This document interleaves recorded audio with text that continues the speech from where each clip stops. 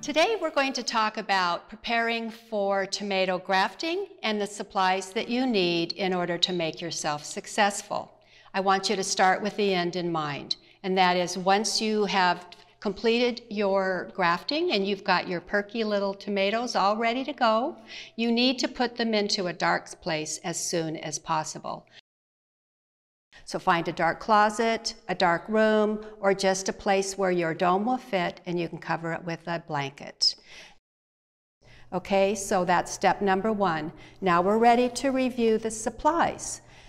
Most important is a good solid workstation. Someplace where you can work, you can rest your elbows. It will help steady your hands and lead to more success.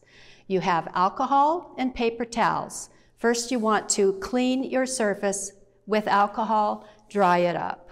You have a lid here with a razor. You can also use an X-Acto knife if you prefer. You're going to pour a little bit of alcohol in here. It's going to keep your razor clean as well as a secure place to put it in between your cuts.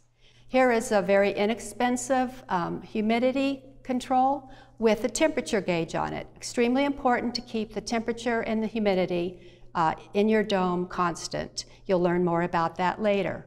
And of course, here's the star of the show, our little seedlings. We have rootstock and scion.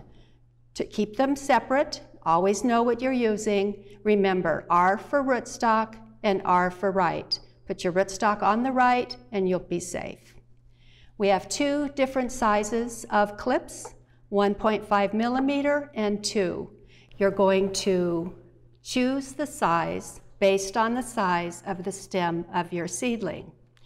You have your water bottle for misting. It's just got water in it. You have a little measuring cup or a cup. It's got a quarter cup of water in it.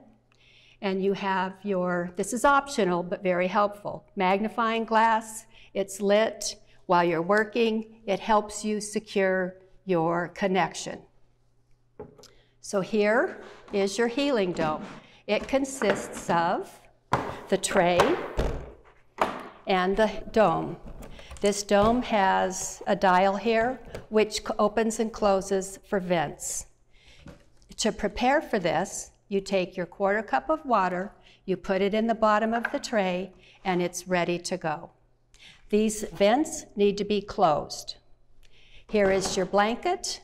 This can stay in your dark place, so you've got it ready for you when you are finished with your grafting and you are ready to cover it up.